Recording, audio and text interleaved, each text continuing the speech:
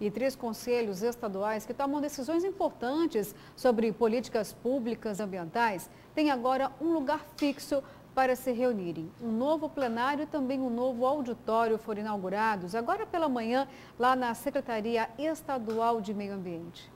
Participaram da inauguração secretários e servidores do governo de Mato Grosso, empresários e familiares dos dois homenageados.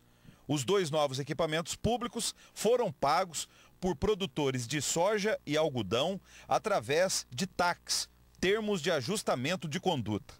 O novo plenarinho sediará reuniões de três conselhos estaduais: o do meio ambiente, o da pesca e o de recursos hídricos. Um espaço onde são tomadas decisões importantes para políticas públicas ambientais, mas que não tinha um lugar fixo. A partir de agora, todas as entidades, todos os conselheiros têm um espaço onde podem vir trabalhar, fazer reuniões e também realizar eventos no auditório que está inserido dentro dessa sede. O novo plenarinho chama-se Cleverson Cabral, geólogo representante da Fiente no Consema e falecido em 2019. A filha e a viúva lembram da importância do trabalho dele e de outros conselheiros.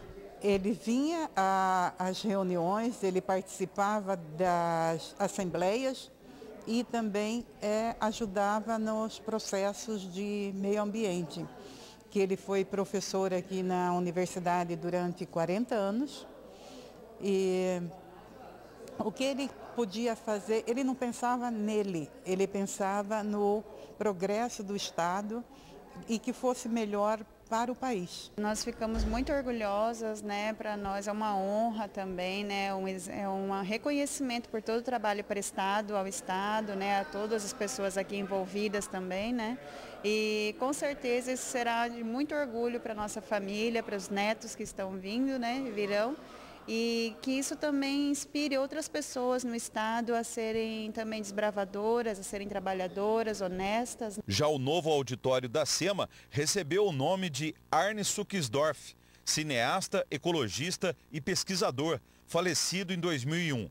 Nas paredes estão estampadas algumas das 11 mil fotos registradas por Arne no Pantanal e doadas à SEMA por ele em 1986.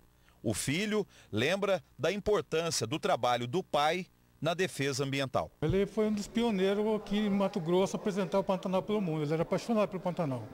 Quando ele veio fazer um curso, veio dar um curso no Rio de Janeiro de cinema e veio conhecer o Pantanal.